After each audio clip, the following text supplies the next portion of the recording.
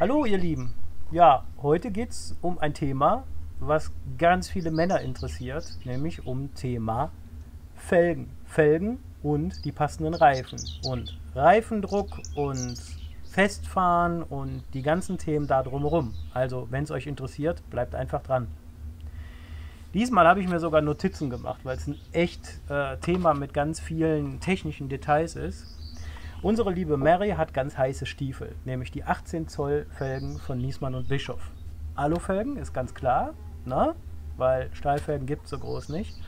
Früher hatten wir immer 15 und 16 Zoll Felgen auf den Wohnmobilen und haben uns auch regelmäßig im äh, Sand, auf nasser Wiese und so weiter festgefahren. Und das ist schon mal eines der absoluten Vorteile einer 18 Zoll Felge wir haben uns nicht mehr festgefahren seitdem. Entweder ich fahre besser, das kann natürlich gut sein, haha, oder aber es liegt doch ein bisschen an den Reifen.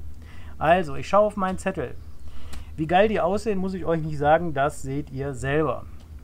Ja, reduzierter Reifendruck. Vielleicht liegt es fest, weniger Festfahren auch am reduzierten Reifendruck. Wir hatten mal einen Termin bei Goldschmidt. Da haben die Jungs, die sind ja für Profis und vom Fach, die haben uns erzählt, dass wir diese Reifen pro Reifen mit 3 Bar fahren dürften.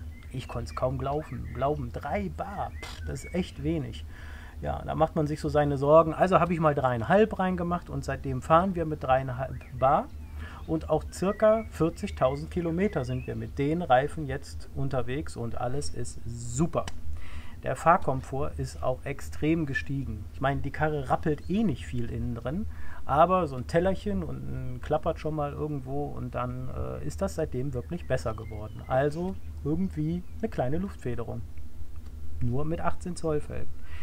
Was habe ich? Ich schaue auf meinen Zettel. Den Komfort habe ich. Äh, weniger Festfahren haben wir besprochen. Finden wir gut. Die gute Traktion vorne ich finde auch, auf, äh, kennt man, wir fahren zwar nicht in die Berge, aber äh, in der Eifel und so, ne, wo wir schon mal unterwegs sind, da gibt es schon mal so kleine äh, Hügelchen und wenn man da mal Gas gibt und man steht, kennt jeder Ducato-Fahrer, dann drehen die Reifchen durch. Das tut, tut die Mary auch, macht sie, aber nicht mehr so dramatisch. Das ist aber ein rein subjektives Empfinden von mir, das kann ich halt nicht beweisen. So, was sind da für Reifen auf diesen sexy Stiefeln drauf? Das muss ich ablesen. Das sind Conti, also Continental Van Contact Camper 225 55 R18 CP 120R. So, das war genug abgelesen.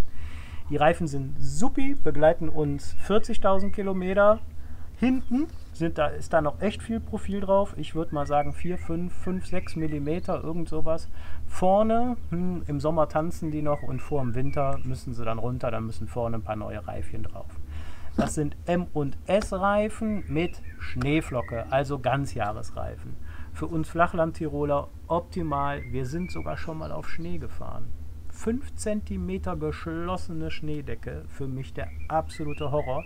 Aber Mary ich und Frohmut haben das gut gemeistert. Frohmut kommt eh aus dem Siegerland, das ist so eine Schneekatze, da ist überhaupt kein Problem. Die sagt immer fahren, fahren, fahren. Ja, das war's zu unseren super Reifen. Wir würden sie wieder empfehlen. Und würden sie uns auch zu wieder kaufen.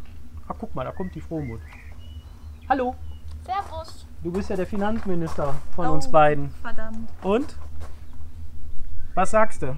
Was würdest du die kaufen? Also ich habe mal so eruiert, 4.500 Euro. Sechs Felgen. Ei, ei, ei, Plus Reifen nochmal. Ich weiß nicht, was der Reifen kostet. Ich sag mal, Bauchgefühl habe ich nicht eruiert. 250, 280 Euro das Stück. Also, viereinhalb Mille. Kaufen wir die? Also unbezahlbar sind die Blicke der großen Jungs an den Tankstellen. Lustigerweise fällt mir das vermehrt an Tankstellen auf. Campingplätze, Stellplätze sowieso. Aber Tankstellen, da gucken ja dann auch mal die Nicht-Camping-Jungs hin und denken so, oh, das ist aber geil. Könnte unbezahlbar sein. Ja, ja, ja, ja. Also ist ein teurer Spaß, aber auch Proll Frohmut findet die Dinger gut und sexy. Mhm. Und äh, wenn man sie kaufen möchte oder wenn wir es nochmal kaufen, dann sparen, weil das lohnt sich auf jeden Fall. Danke. Tschüss.